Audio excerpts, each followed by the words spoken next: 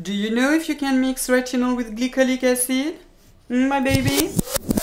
Hey, hey, hello, bonjour, bonjour, welcome, welcome back to my channel. My name is Cyrille. I used to be a stem cell researcher for quite some time, and this is why I can tell you about the science behind skincare ingredient. Well, actually, behind mostly retinol and retinoids for today's video because we are going to talk about what to mix and not to mix with retinoids. So in this video, it will be basically retinols, retinaldehyde, and also tretinoin, aka retinoic acid. Uh, before I start, and because I didn't talk um, about retinol for quite some times, I have like old school video. When I say old school, I mean it was my old self that was not super comfortable on the camera, in front of the camera, so I was really boring. Um, but basically at that time I did explain you exactly what is retinol, how is it converted into retinaldehyde, retinoic acid, etc. I mean all that jazz. So I thought I will like give you a little shot of knowledge to um, put things into perspective. I have to say, and no shades here, but when you go online and you read about retinoids and also retinol, there are so much misinformation. It's like insane, insane. But I am here to put some sense back into the game. Let's put it like that. So uh, first thing first, retinol is a synonym for vitamin A. Vitamin A is a natural molecule that occurs in our body and that is extremely, extremely important. If you do um, basically a knockout of one of the important genes involved with vitamin A, so basically the body is no longer able to use vitamin A, uh, you basically are not born. Uh, very, very early in the development, when you are still in the belly of the mother, uh, the embryo cannot uh, develop. This is just to show you how important, like really how important vitamin A is for a lot of process and especially for the skin. So what happens is that retinol, so vitamin A, is not soluble in water. So you know this if you do a little bit of cooking, if you mix vinegar, which is basically water, with any type of oil, they don't mix. So it's exactly the same with uh, vitamin A. So in your blood, there are carrier protein, carrier protein that are going to carry the vitamin A to your skin cells, so in the dermis, but also in your epidermis. And within your cells, so inside, which is basically mainly water, also there is another protein that is the CRBP. There are actually several of them, the one and the two, but I'm not going to talk about them. And they are the cellular retinol binding protein! Yeah, I'm checking here to just uh, see if I didn't uh, mess it. And here the cells have um, the cells have two choice. They can either use it as a signaling pathway or like to signal into the cell to say, hey girls, you need to do something, or they can store it, which is something very important. When the cell decide to store it, the retinol is going to be converted into esters of retinol that you can sometimes find in skincare, but frankly, when you look at the data, it's just so. So I don't mind it that you have them in some like moisturizer and etc. But as like um, like a, a potent anti-aging treatment, I do not think that they are really worth a try unless they are uh, combined with retinol, for example. If the cells decide to use retinol, in that case, the retinol is converted into retinaldehyde thanks to an enzyme. So an enzyme is a big protein that is going to take the retinol and to change it to oxidize it into retinaldehyde. And the name of this protein is retinol dehydrogenase. I know, a bit complicated. And then the retinol, so the retinal retinaldehyde is going to be converted into retinoic acid, aka tretinoin, by the retinaldehyde dehydrogenase. Um, so this, what I'm just telling you here, it is what is happening right now in your skin, in your epidermis and also in your dermis. In your dermis, this pathway is very important to produce collagen, and we like collagen. Elastin, we also love elastin. This is what makes the, the skin like very bouncy. It also makes hyaluronic acid. We love also hyaluronic acid uh, other glycans that are very complicated like proteoglycans and etc. So I mean all the good stuff in your epidermis, this pathway. And this is also what makes the cells proliferate. For example, without it, uh, our epidermis would be like super, super thin, like tiny, tiny, tiny. Um, so something that is vital. And this is, for me, a true natural ingredient because guess what? This is what our cells use. Like for example, Bakuchiol is like the green uh, or the natural alternative to retinol. I'm like, hell no.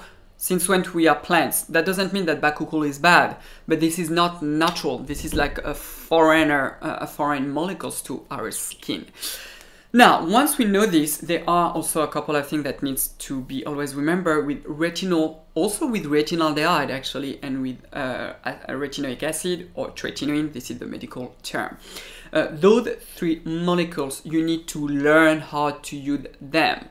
So basically, when you are going to try them for the first time, uh, they can irritate your skin. This is very, very person dependent and concentration dependent. Of course, if you choose the highest concentration of retinol, it might irritate you the hell out of your skin, or it can be like mine. It really, really depends. Like my mom, for example, she just jumped with 1% retinol every single day. She didn't listen to me. She applied like a lot of it she had barely no irritation. She told me, oh, my skin is a tiny bit dry. If I do the same thing, oh my, oh my, my whole face will fall off, basically. So it's very person dependent, but still keep it in mind. This tolerance period can be a one, two month. For most people, it's between four weeks to uh, almost two months for retinol. For tretinoin, it can be well longer than uh, that. Retinaldehyde is basically similar to retinol in terms of uh, tolerance period.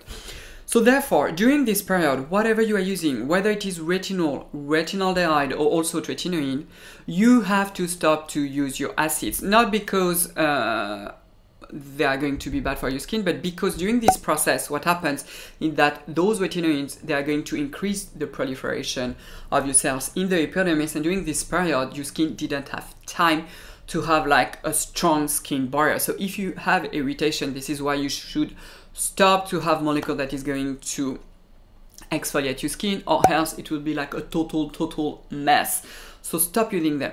But and this is why I do not like all those videos that don't mix this with this, is that they are always like black and white, but it never, it is never like this in life, it is always way complicated.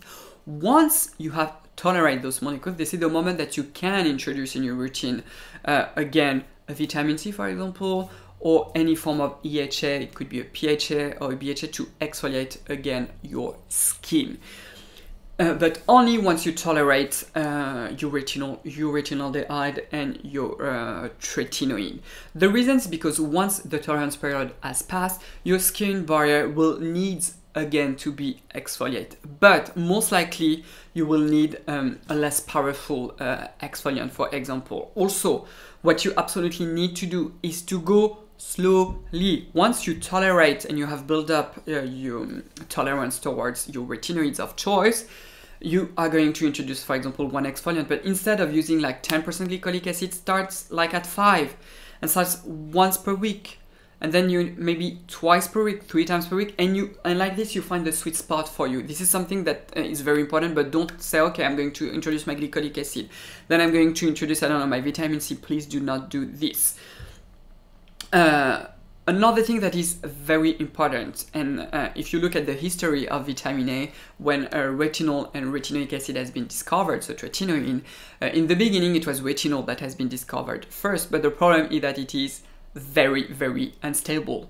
And therefore, when you have a retinol product, uh, this is why you don't want to add an acid in the same routine. So for example, in the evening, this is um, in general what I advise you to do. If you are using retinol in the evening, do not use an acid that goes along with it because you might destabilize the retinol. And in the market, there are a ton of product that contains retinol but the retinol is not efficient because it has been degraded. This is also why I recommend only a handful of um, of acid. However, what you can do is, for example, alternate. You can use, uh, I don't know, you retinol from Monday to Friday, and on Saturday evening you are going to use one of the acid of your choice.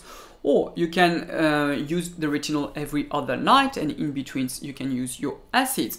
Or you can use retinol in the evening and you can use a very mild acid in the morning, for example, but don't add it in the same routine. Also, do not mix them in your hands. So do like one pump of retinol and then I don't know an acid and mix it. Do not do this because you may destabilize again the retinol.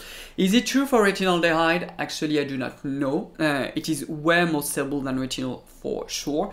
You can do it for glycolic acid with retinoic acid, but again, because retinoic acid, so tretinoin is so powerful, I would just not uh, do it and just choose like one evening in you in your week, for example, or where you are not going to use the tretinoin, in that case, you are going to use the acid, or like exactly like retinol, you alternate um, them basically. So what you need to remember during the tolerance period, stop your all your active that are going to exfoliate your skin for sure. Once you have built a tolerance, just reintroduce them uh, very slowly, but do not use them at the same, but do not use them at the same times. The last thing, um, what you can use with retinol without any problem, niacinamide. You can use niacinamide with your retinol without any problem. Would I still use like a high percentage of niacinamide during the tolerance period? No, I would be cautious. It is always better to have a very, very simple, simple routine during the tolerance period. And once you know your tolerance original, you introduce another active. It makes way more sense. It is also way easier.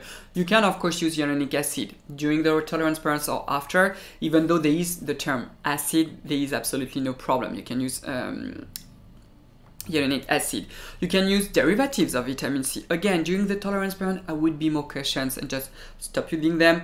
Once you know that your skin is fine and your skin gives you like the okay girl, okay guy, you can start to play, reintroduce your derivatives of vitamin C. And I have to film for you a video about this. What else? Uh, you can use tranexamic acid, for example, since the beginning actually. Tranexamic acid also is pretty very gentle on the skin, so this is not a big uh, issue.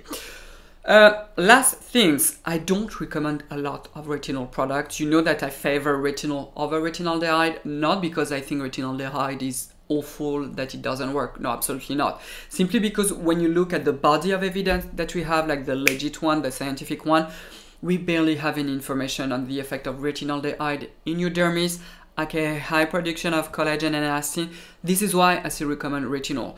The one that I prefer, that had the best for sure, because I have used them for a very long time. Because I have tested them on my partner, on all members of my families, and, and a lot of you actually uh, are the one from Paula's Choice. So the 0.3 retinol and the 1% retinol. Those two, like I am are wonderful. If you want a cheap alternative but don't keep them for a long time, the ordinary, of course, uh, retinol, the retinol in Squalane. Don't keep it for a very long time. On the bottle, it is return six months. I would not keep it for more than four months on your skin because this packaging is crap. Another French alternative is the SVR, the Ampoule A that contains 0.3% uh, retinol. And well, basically that's it for today. I hope you did like this video. If you did, give it a thumbs up. Also say hi to my dog that was in the introduction. If you are new, come over here and subscribe. Also, don't forget the beautiful bell because like that you get notified. I have two Instagram accounts, one in English, one in French. I also have a YouTube channel in French. So if you want me rambling in French, you can also check my um, French account. And well, that's it people. So thank you so, so much and I will see you next time. Au revoir.